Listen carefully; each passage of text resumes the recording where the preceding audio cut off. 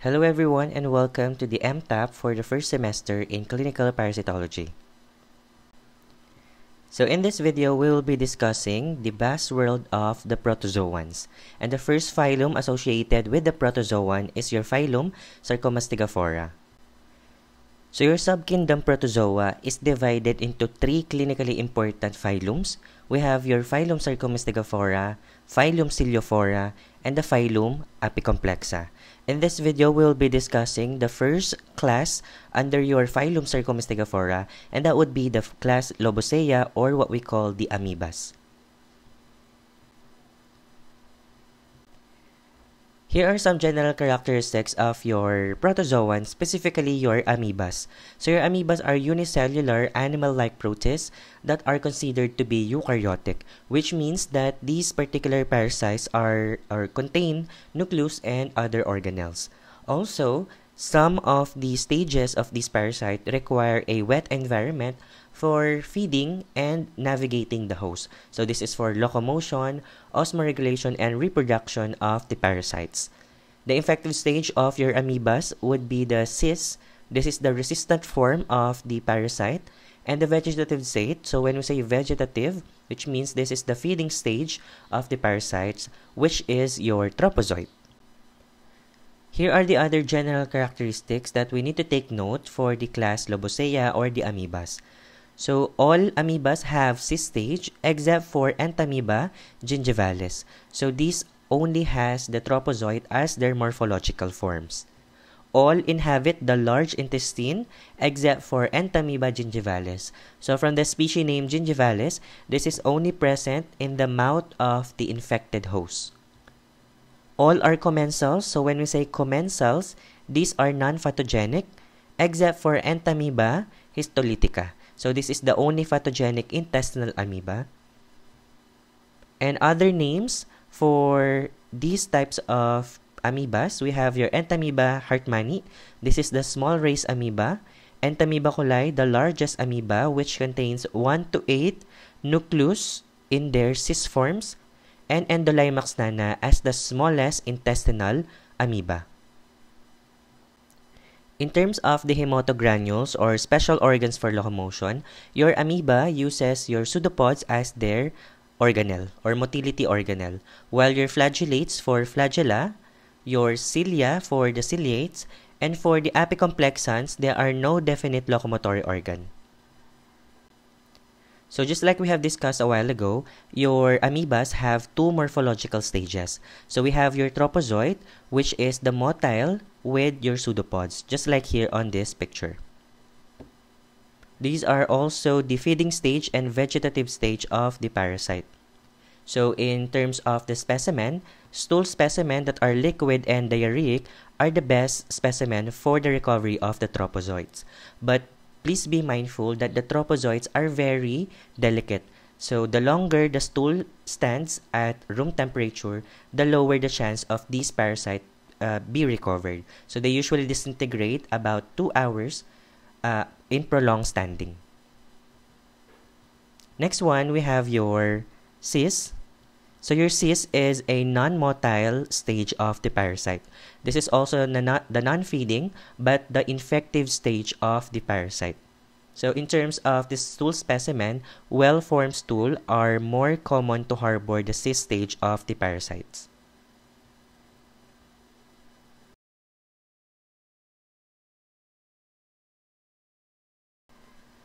So let's start first with the intestinal amoeba starting with Entamoeba histolytica. So this is the only pathogenic amoeba among all your intestinal parasites. So the focus of the lecture will be on to your Entamoeba histolytica. So your Entamoeba histolytica, also known as your Losch amoeba, comes from the uh, discoverer Fedor Losch. This is the only pathogenic intestinal amoeba. So this causes amoebiasis, which we'll be discussing later on and this contributes to the 10% of cases, parasitic cases worldwide. So this is the third leading cause of parasitic deaths after malaria and schistosomiasis. So in the US, the incident rate is usually 5%. In terms of the morphology for the cyst form of your Entamoeba histolytica, these are spherical in shape and usually contains 1 to 4 nucleus, just like here on this picture. So the higher the number of nucleus present in the cyst, the mature the cyst is. In terms of the peripheral chromatin of the nucleus, so as you can see, the peripheral chromatin is fine and uniform, just like here on this picture. The karyosome or the small dot at the center of the nucleus is small and central.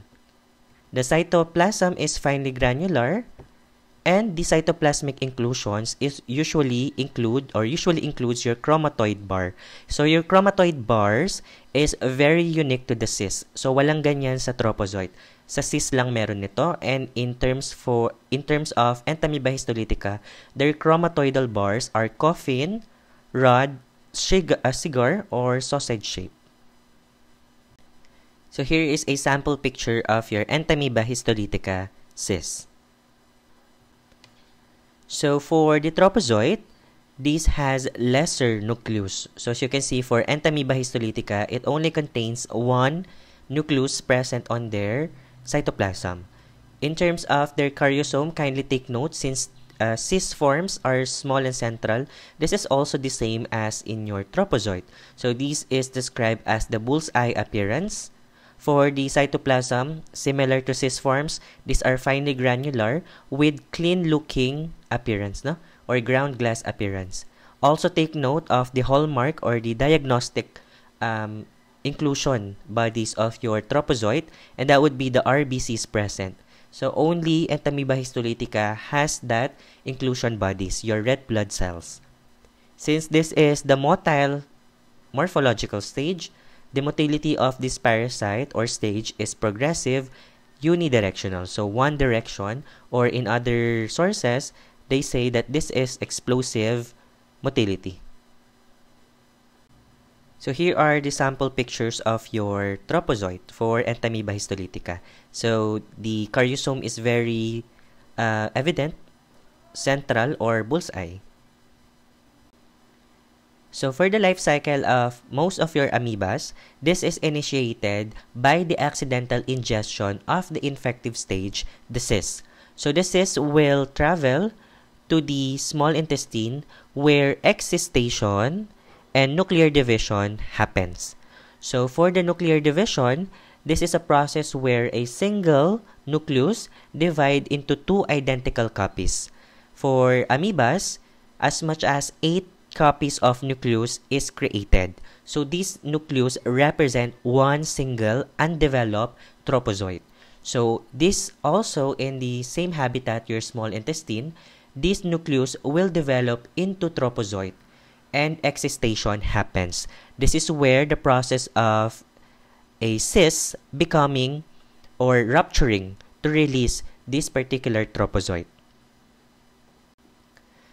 So after developing from a single cyst to multiple copies of your trophozoites, your trophozoites will migrate from the small intestine to your large intestines where encystation and binary fission happens. So in binary fission, this is the reproduction by separation of the bodies into two new bodies, just like here on this picture. So in order for the trophozoite to reproduce, they need to undergo this type of fission, your binary fission, where one single trophozoite can create two exactly the same copies of their um, morphological form. This is also the site, your large intestine, where encystation happens. So in order for the parasite to continue its life cycle to the another host, this trophozoite will develop or will take the process of encystation so from a single trophozoite becoming a cyst form again. And this will be passed down in the stool to infect another host. Here are again the infective and diagnostic stages for the amoebas. So for extraintestinal, kindly take note, trophozoite are usually the present morphological forms. So for the pathology of your amoeba, this is called your amoebiasis. And there are several diseases that are associated with this parasite. The first one in, is the intestinal infection. So this is what we call your amoebic dysentery. So based on the word it's or the name itself, this is the diarrhea or a bloody mucoid diarrhea that is caused by your amoeba. So there are several uh, gastrointestinal problems that uh, might be felt by the patient, example of which is your abdominal pain, cramping, weight loss, and so on and so forth. Also take note of the presence of your flask-shaped ulcer, usually seen at the chronic stage of the patient or the disease.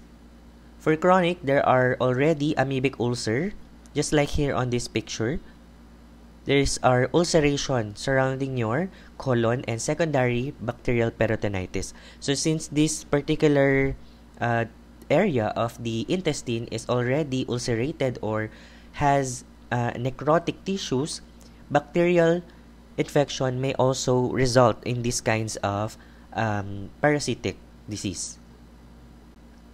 Next one is your extraintestinal amoebiasis. And the first one is your liver. So your Entamoeba histolytica tropozoite may also travel from your intestine to your liver, causing amoebic hepatitis or amoebic liver abscess. This is the most serious uh, infection among all your amoeba infection, which is usually involve a abscess which has an anchovy sauce-like appearance. Next is for the brain. So this can also travel the brain causing severe uh, secondary amoebic encephalitis. The skin as well and also the lungs which also produces anchovy sauce-like sputum. So although very general, the Charcot-Leyden crystals may also be present on stool samples of patients with increased eosinophil in their blood. Normally, these Charcot-Leyden crystals appear as pyramidal crystals, just like here on this picture, which stains red on trichrome staining. So these are disintegration or fragments of eosinophils. For the diagnosis of entamoeba, especially your entamoeba histolytica, the specimen of choice is stool. So normally we can uh, check the eggs of this parasite and also liver aspirate may be acquired, especially at cases with amoebic liver abscess. So the method to be used here is your concentration techniques. So this is the gold standard for amoeba identification. So these are used only for light infections and not recommended for protozoan trophozoites. That's why it's very important to uh, extract or to acquire eggs in the stool sample of the patient. Uh, in the principle of concentration technique, parasite should have a lesser specific gravity than the reagent so that it will float on top of the solution. So examples of your concentration technique would be the zinc sulfate flotation. This is the most recommended one, but we can also use the brine flotation technique and the Sheather's sugar flotation. So again, the zinc sulfate flotation method is the most recommended and most preferred method for the recovery of amoebic cyst. So this uses 33% zinc sulfate solution and the ideal specific gravity should fall uh, uh should fall under 1.18 for uh, fresh specimen to 1.20 for preserved specimens. So again, this is not useful for the recovery of trophozoites because of the presence of your zinc sulfate solution. So this destroy or distorts the uh, appearance of your trophozoites. So only cysts, specifically your protozoan cysts and helminth eggs may be used on this particular procedure. So again, the principle behind this is that the zinc sulfate solution contains higher specific gravity than the eggs, so the eggs float on top of the solution. Although uncommon, we can also use culture media to grow these types of parasites, specifically your amoeba. So this is basically increasing the yield of your trophozoite, which are in normal conditions uh, becomes disintegrated in other procedures. So in culture media, we can use to increase the viability of these parasites, specifically their trophozoites. We can also use the immunofluorescence and PCR, especially if we want to differentiate the pathogenic amoeba to non-pathogenic amoeba. So later on, we'll be discussing the non-pathogenic ones. We can also stain or increase the nuclear details of several morphological stages of our amoeba. So for cysts, we can use the Lugol's iodine. For the trophozoite, the Quensel's methylene blue is the most recommended one. So one of the hallmarks again of your Entamoeba histolytica is the presence of the RBC usually at the cytoplasm of trophozoites. But there is one specific amoeba that is very similar to Entamoeba histolytica and that would be your Entamoeba dispar. So this is a non-pathogenic amoeba that is morphologically identical to Entamoeba histolytica. So some laboratory uh, reports this as both Entamoeba histolytica slash Entamoeba dispar if the presence of a trophozoite or cyst do not have RBCs. Next one is Entamoeba moshkovskii. So this is a non-pathogenic amoeba as well. And this is also similarly identical to Entamoeba histolytica. So this is formally known as Laredo strain. And in order for us to differentiate the Entamoeba histolytica from other similar organisms, especially the non-pathogenic amoeba, we can use PCR, RFLP, and monoclonal antibodies to differentiate these types of species. So here is the summary for all the non-pathogenic amoeba in terms of the morphology of their cyst forms. So for Entamoeba hartmanni, the most important one here is the presence of the bar-like or rice grain shaped chromatoidal bars. While for Entamoeba coli, it contains the numerus or the highest nucleus in a cyst form at around 1 to 8. Also take note of the splinter-like or broomstick appearance for their chromatoidal bars. For Entamoeba gingivalis, this is the amoeba with no cyst stage, just like we have discussed a while ago. For Endolimax nana, this is the cross-eyed cyst, and it contains a blot-like karyosome. For the Iodamoeba buetschlii, the most important one here is the presence of a glycogen mass. So this takes up the iodine once we uh, subjected the cyst into iodine preparation. So it stains dark brown under the microscope. That's why it's called iodamoeba from the word iodine and amoeba. The next one is the morphology in terms of their trophozoite. So also take note since trophozoite is the motile one, motility may also be used to differentiate these types of non-pathogenic amoeba. Such as for Entamoeba hartmanni, this is the non-progressive one. Also for coli, which is non-progressive and sluggish. For gingivalis, moderately active. For Endolimax nana, it is sluggish, non-progressive, as well as for Iodamoeba buetschlii. In terms of the appearance, for Entamoeba hartmanni, it has a small karyosome while for Entamoeba coli, it has a large karyosome with a dirty-looking cytoplasm. For Entamoeba gingivalis, take note of the inclusion bodies present inside their trophozoite, and that would be the epithelial cells present in the mouth area and white blood cells as well. So usually for Entamoeba gingivalis, this is associated with bacterial infection in the mouth. So people with unhygienic uh, mouth with a lower uh, mouth hygiene are susceptible to these types of parasites. For Endolimax nana, the presence of a blot-like karyosome, just like in the cyst form, is also important. For Iodamoeba buetschlii, it contains a refractive or refractile achromatic granules. So now we move on to the opportunistic amoebas, and that would be the Acanthamoeba species and Naegleria fowleri. So for the general characteristics of your amoeba, these are considered free-living. So that means these are usually seen naturally in soil and water. This is acquired or accidentally acquired by man by swimming or diving in stagnant, warm, and still water. Normally, this is acquired through nasal aspiration of water infected with free-living amoeba. So the parasite enters the nasal mucosa and penetrates the cribriform plate and multiplies in the gray matter of our brain. So these disease is characterized by purulent CSF with increased WBC, red blood cell, plus the appearance of the amoebic trophozoites. So again, this includes your Naegleria and Acanthamoeba species. So let's differentiate the morphology of the two opportunistic amoeba in terms of their cyst and trophozoite. So let's start first with Naegleria fowleri. So the cyst forms of this parasite contains a round with smooth heavy-walled cyst, just like here on this picture. So the karyosome is central with no peripheral chromatin and the cytoplasm is finely granular, just like here on this picture.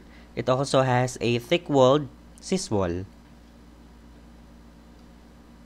For the trophozoite of Naegleria fowleri, it contains two forms. We have the Limax form and the amoeboflagellate form.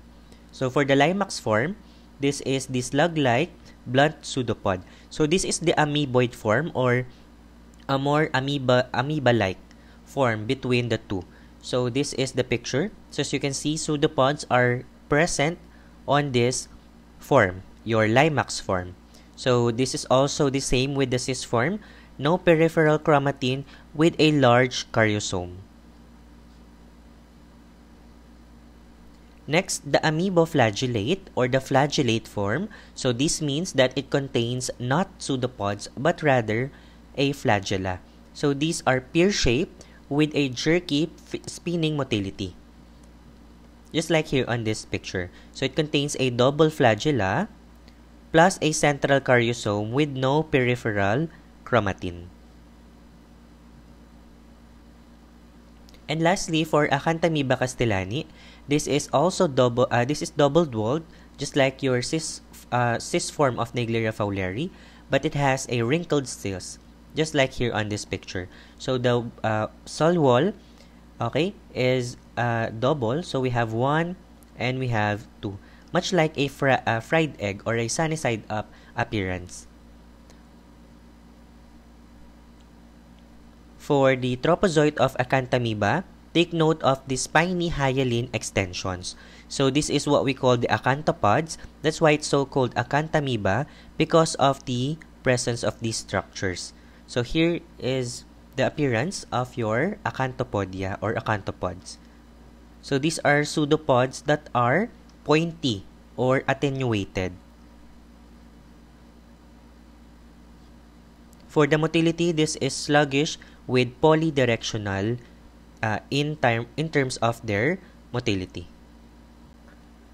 In the life cycle of your opportunistic amoebas, such as your Naegleria and Acanthamoeba, these two are considered free-living. So that means these types of free-living organisms do not require hosts to develop their species. So these are naturally occurring parasites seen in soil and water.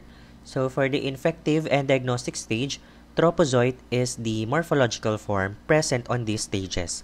The mode of transmission for this parasite is through swimming or diving in stagnant, warm, and still water. This is done or transmitted through the olfactory neuroepithelium by nasal aspiration of water. So let's talk about the pathology behind the two opportunistic amoeba.